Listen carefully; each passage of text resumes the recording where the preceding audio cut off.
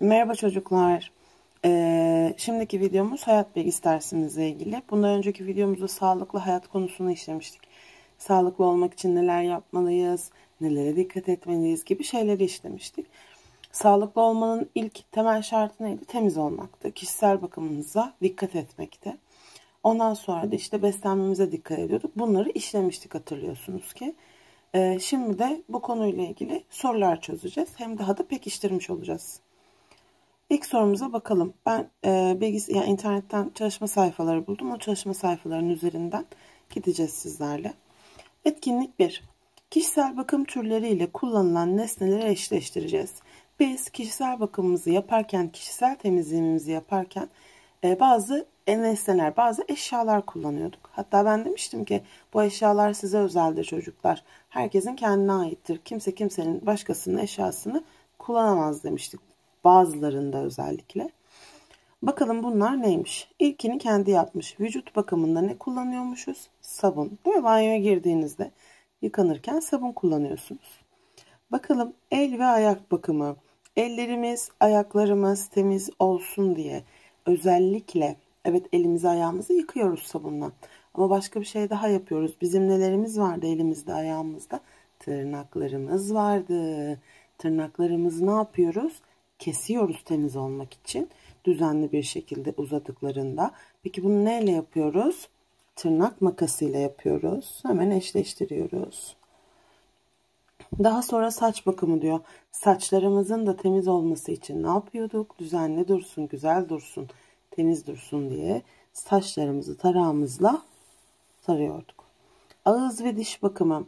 Yemeğimizi yedik. Yemeğimizi yedikten sonra ilk yapmamız gereken şey ne? Evet elleri yıkamak. Ondan sonra da dişlerimizi fırçalamak. Dişlerimizi neyle fırçalıyoruz? Evet dişlerimizi şampuanla ay özür dilerim diş fırçasıyla fırçalıyoruz.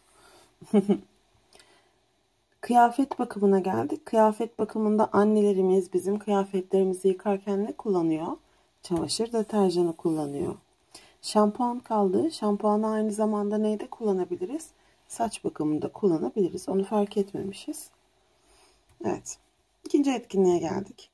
Doğru olanı D, yanlış olanı da Y yazacağız. Dişlerimizi her gün düzenli fırçalamalıyız.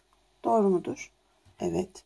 Dişlerimizi her gün, mümkünse her yemekten sonra düzenli fırçalamalıyız. Peki günde iki kez kıyafetlerimizi yıkamalı mıyız?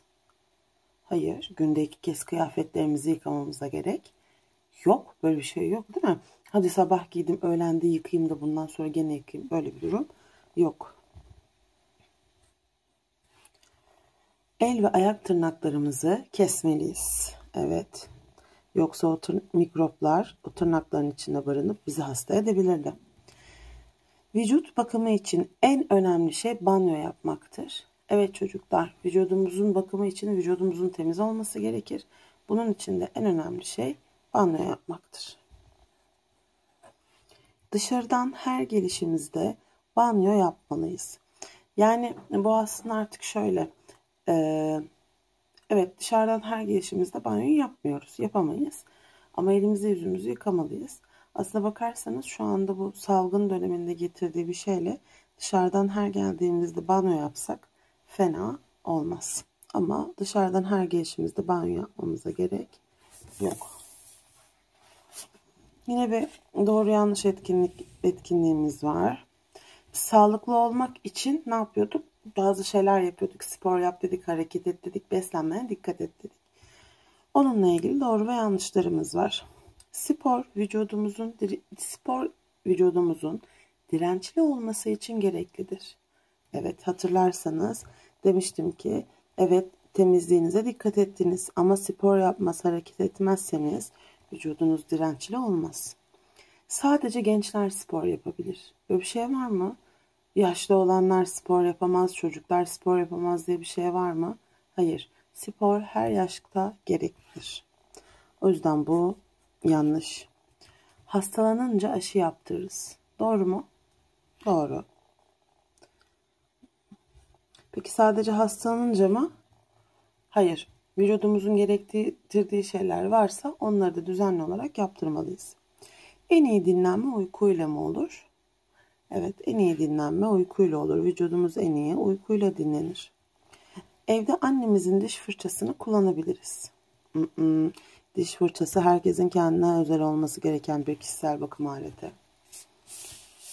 En iyi uyku dinlenme ile olur. Evet çocuklar onu tekrar bir edeyim. Ee, biz vücudumuzun sağlıklı olması için düzenli olarak uyku uyumazsak vücudumuzun direnci düşer. Bu yüzden sağlıklı olmayız. Hmm. Nereye geldik şimdi? Demiştik ki e, sağlıklı olmak için yemek yemeliyiz. Düzenli bir şekilde. Ama bu yemekler ne? Tutup da öyle abur cuburlar değildi. Hayvansal besinler vardı, işte bitkisel besinler vardı değil mi?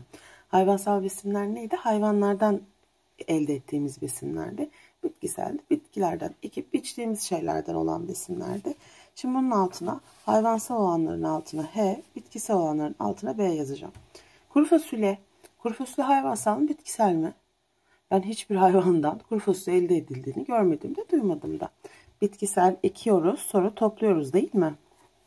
Olunca makarna. Evet bitkisel. Yoğurt. Yoğurt neyden elde ediliyor? Sütten. Süt neyden elde ediliyor? İnekten. O zaman bu hayvansal bitki. Gıda. Özür dilerim. Ee, mercimek. Bitkisel. Domates. Bitkisel. Yumurta. Evet duyuyorum sizi hayvansal. Et. Geçen gün de adı üstünde demiştik değil mi? Hayvansal gıda. Portakal. Evet. Bitkisel. Üzüm. Bitkisel. Süt. İnekler sağ olsun. Hayvansal. Çok süt çok yararlı bir şeydir. Bol bol için çocuklar. Peynir. Peynir neyden elde ediliyordu? Sütten. Süt de hayvansal bir gıdaydı. Hayvansal bir besindi ya da. Tavuk adı üstünde hayvansal ayran bitkisi ayran ayran neyden etki, e, elde ediliyor? Sütten. Süt de inekten olduğu için hayvansal. Havuç bitkisel. Balık adı üstünde dediğimiz gibi hayvansal. Bal bal arılardan oluyor. O yüzden bal da hayvansal bir gıda. Doğru yanlış işaretleyelim. Yediğimiz her bizim sağlıklı mı çocuklar? Hayır. Yediğimiz çikolata cips bir kere hiç sağlıklı değil. Bizim vücudumuza zararı var, yararı yok. Ee, bu yüzden yediğimiz her besin sağlıklı değildir. Bu yanlış. Peki açıkta satılan yiyeceklerden almamalıyız diyor. Doğru mu? Evet. Açıktaysa o yiyecekte bir sürü mikrop olabilir. O yüzden o yiyeceklerden almamalıyız. Doğru. Sağlıklı beslenme yeterli ve dengeli beslenmedir. Evet, hatırlarsanız ne demiştik? Azı karar, yeteri kadarı normal ama fazlası bizim için zarardı.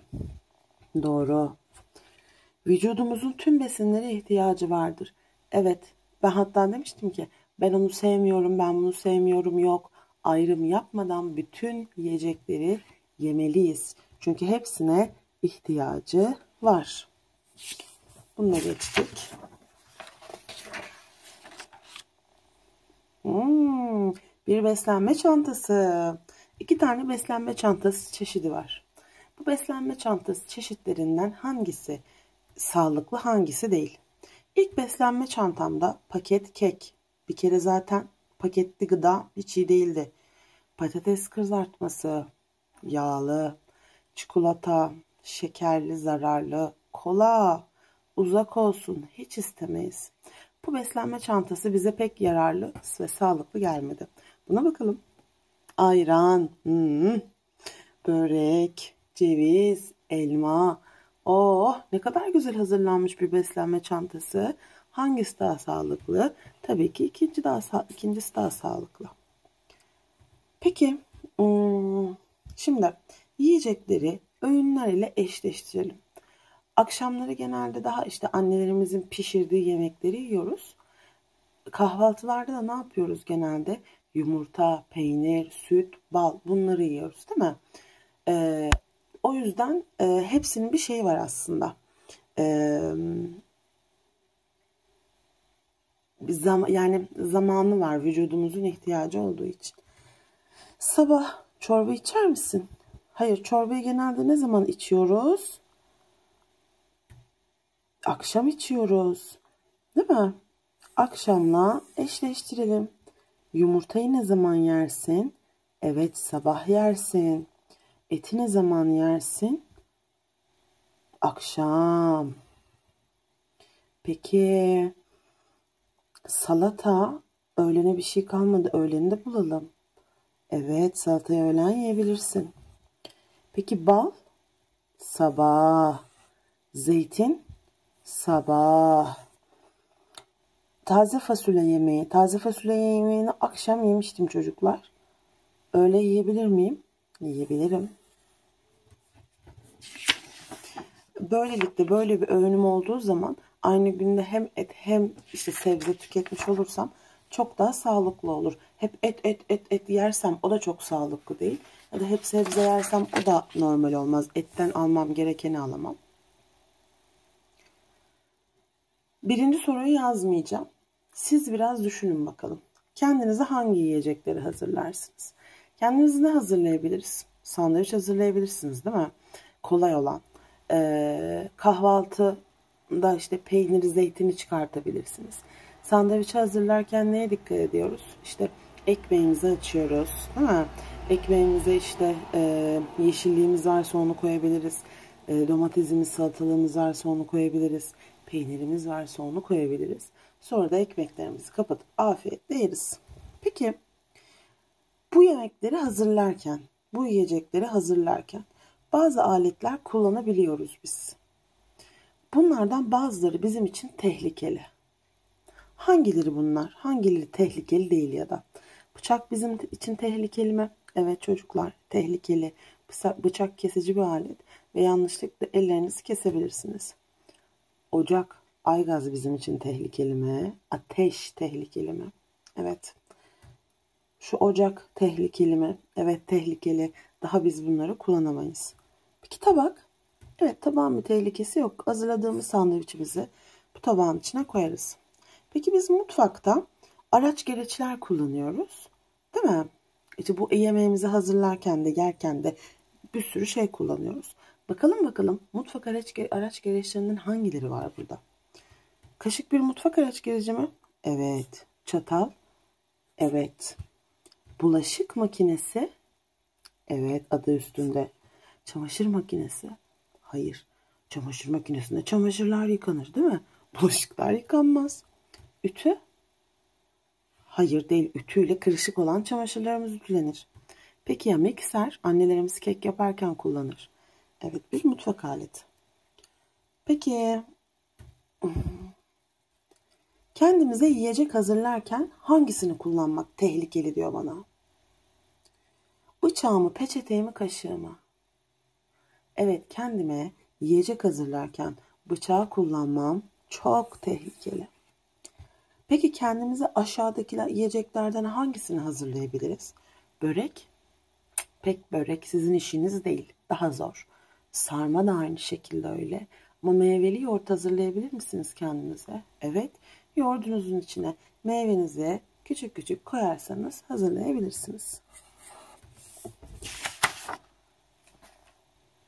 Son kağıda geldik çocuklar. Bitiriyoruz ondan sonra videomuzu. Doğru olanların başına D, yanlış olanların başına Y koyacağız. Beslenme çantama meyve koyarım. Doğru mu? Hem de şahane olur. Tabii ki de doğru. Beslenme çantama ayran koyarım. Tabii ki de çok sağlıklı. Beslenme çantama soğan koyarım. Var mı aranızda soğan koyan? Evet soğan faydalı ama beslenme çantanıza koyarsanız o çok kokar değil mi? Ve sınıftaki arkadaşlarımız rahatsız edebilir. Bu yemek kurallarına hiç de uygun bir şey değil. Yanlış. Peki beslenme çantanıza su koyar mısınız? Evet. Beslenme çantasına tost koyar mısınız? Evet. Bunu gene yazmayacağım. Yine konuşalım biraz. Yemek yerken nelere dikkat ederiz? Yemek yerken neye dikkat edeceğiz? Ee, görgü kurallarına dikkat edeceğiz. Yemek yerken işte ağzımızı şapurdatarak yemeyeceğiz mesela. Ya da böyle kimi insan nasıl yer? Çok dağıtarak yer. Yediği tabağı işte çok ayrım yapar. Böyle bir şey yapmayacağız. Ee, gayet düzgün kimseyi de tiksindirmeden değil mi yiyeceğimiz yiyecekten. Yemek yerken konuşmadan, yemek yerken çatal bıçağımızı düzgün kullanarak e, ya da peçetemizi kullanarak ağzımızı silerek güzelce yemek yerken bu kurallara dikkat etmemiz gerekiyor çocuklar. Evet. Doğru seçeneği işaretleyelim. E işaretleyelim bakalım. Hangisi bu? Üç seçenekten hangisi doğru? Gereğinden çok yemek yerim. Gereğinden çok yemek yemek doğru bir şey mi? Ne demiştik? Şişmanlığa ve obeziteye yol açabilir demiştik. Yemeğimi dökerim. Yemeğimi dökmem doğru bir şey mi? Hayır. Değil mi? Yemeğimizi dökmemiz hiç doğru bir şey değil. Ziyan olur, israf olur, olmaz. Yemeğimi bitiririm. Evet, en doğrusu bu. Tabağıma yiyebileceğim kadar yemek koyarım. Çok doğru. Tabağımıza yiyebileceğimiz kadar yemek koyarsak artmaz değil mi çocuklar? Hep koydun daha yemek istiyorsun gidip alabilirsin. Ama fazla koyduğunda yiyemediğinde onu artık başkası yiyemez. Onu atmak zorunda kalırsın. Bu doğru. Bunu bir işaretleyelim ama ötekinlerine de bakalım. Ağzımı şapırdatarak yemek yerim. Bu hiç de doğru bir davranış değil değil mi? Ağzımızı şapırdatarak yemek yersek diğer insanlar bizden rahatsız olabilirler haklı olarak. Peki ağzımda lokma varken konuşurum. Ben hep yemekhanedeyken sizi uyarıyordum. Değil mi? Ağzınızda yemek varken konuşmayın. Ki zaten normalde yemek yerken de çok konuşulmaz. Ama ağzınızda lokma varken özellikle konuşmayın. Hem görüntü olarak hoş bir görüntü değil sizin ağzınızda yemek varken diğer insan sizin ağzınız içindeki yemeği görüyor. Hiç hoş bir şey değil. Bir de biz o yemeği yerken ne yapabiliriz? O bizim boğazımıza kaçabilir konuşursak. O yüzden bu kurallara dikkat etmemiz gerekiyor çocuklar. Kendinize dikkat edin. Görüşürüz. Hoşçakalın. Öpüyorum sizlere.